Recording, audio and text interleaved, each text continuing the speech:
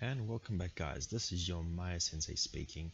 Today I'm going to show you guys how to make use of the multi-cut tool and how we can change and tweak its settings to really be able to customize and make it more of a flexible tool in uh, to in any kind of situation. So let's quickly have a look. I'm going to jump to my polygon plane over here I'm going to hit control 1 just to isolate that.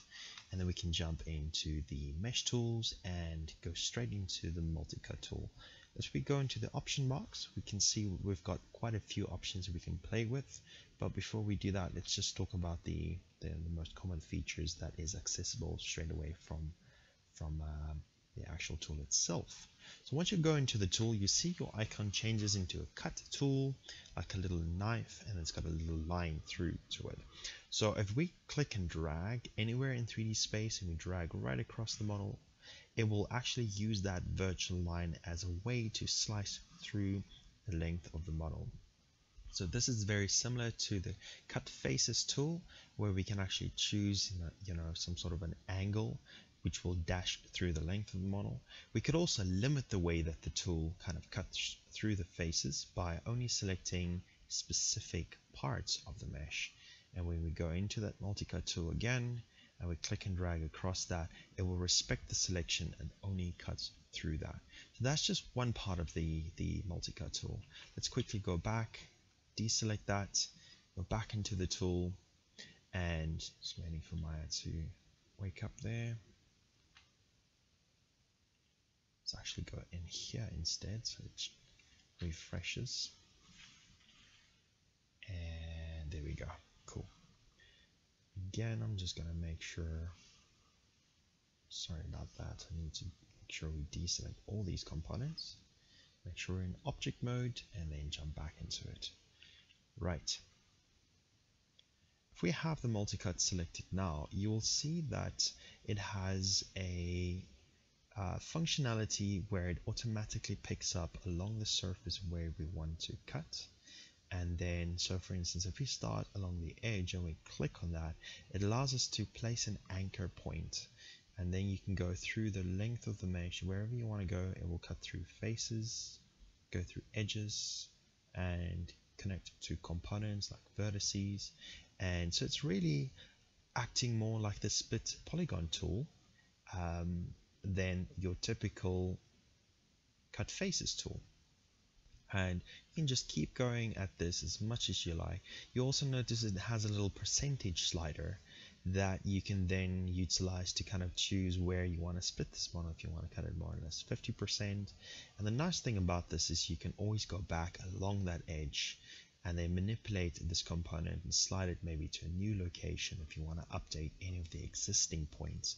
And it will show you that the, the white points that we click and drag is actually points that is along the actual face and not connected to one of the, the edges.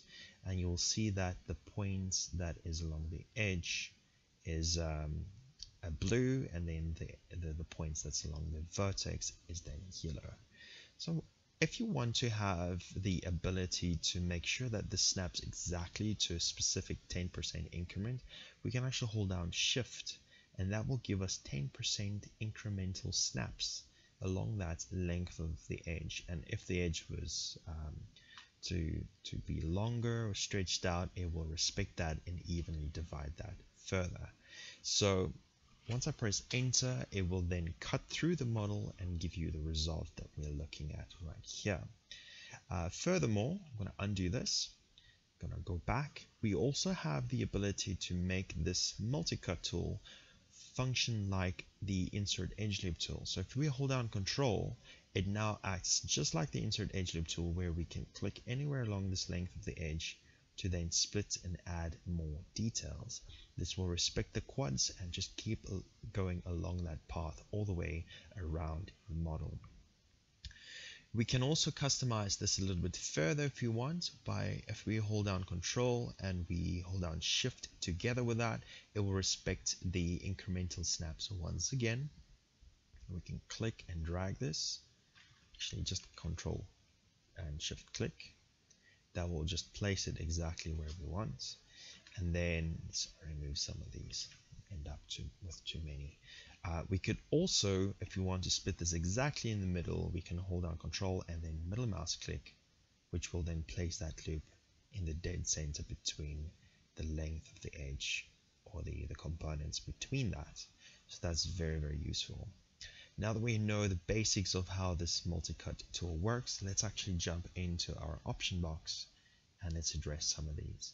You will see that the snap percentage increment is set to 10 at the moment, so you can always change that if you want to have 1% increment. So we can, if you hold down just shift and we click and drag, you'll see we have very small increment percentages, and you can set that to 20, 30, 40, whatever you want.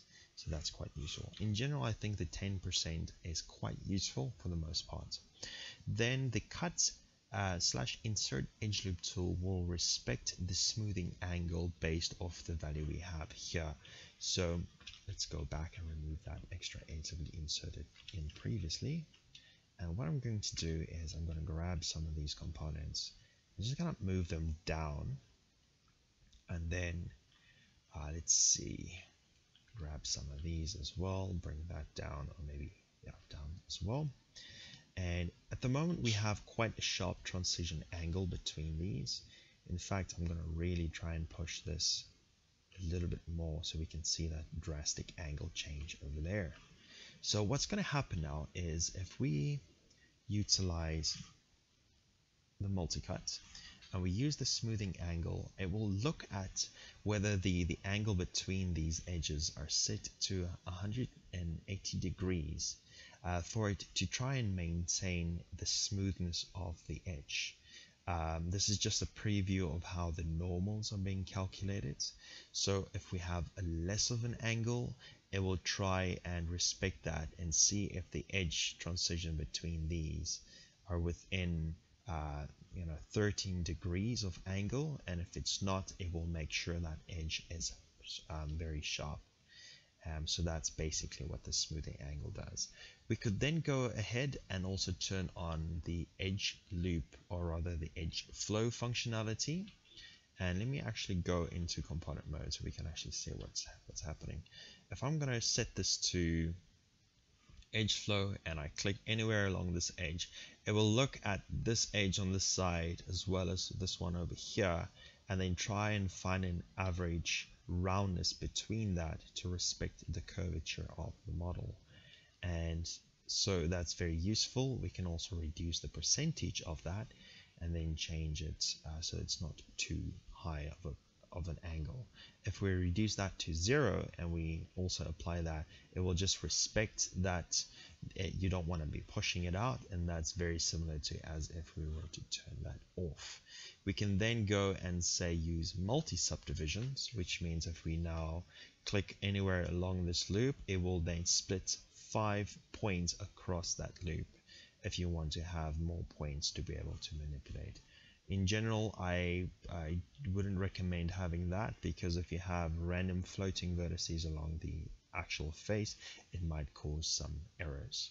So then we have a slice tool. This one is very, very convenient. It's quite a nice functionality. Uh, we can actually make use of the slice along a plane angle and then we have YZ, ZX and XY as an option to choose from. So if we choose an angle uh, of one of these, we can actually look at which angle it's going to be applying. So YZ is going to be up, and inwards and it's going to split the model across that plane. So let's choose YZ.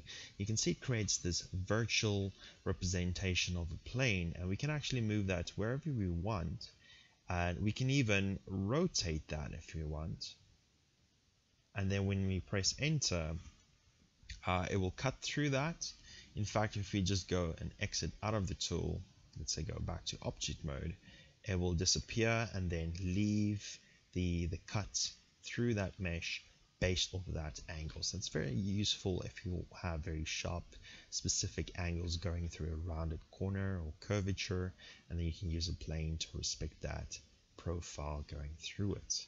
So that's very very useful. I'm going to go back again into the the multi-cut tool again and we can also go into the keyboard options we can look at some of these shortcuts if you want to address that for the most part I've already talked about most of these options We also have the ability to change specific colors, just like I said, the edges with a blue, the vertex with a yellow, and faces with uh, white points. The line in general is yellow, so if you choose a different color, you can customize it to your liking.